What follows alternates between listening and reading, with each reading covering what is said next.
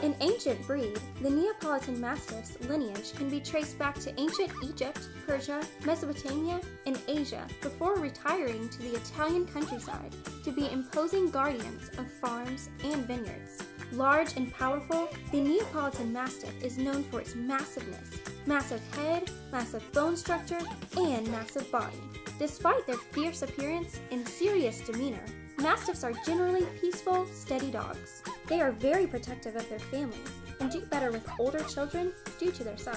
The breed's trademark is the loose skin that covers their bodies, the abundant wrinkles and folds on the head, and their rolling and lumbering gait. Their short coat can be gray or blue, black, brindle, mahogany, and tawny.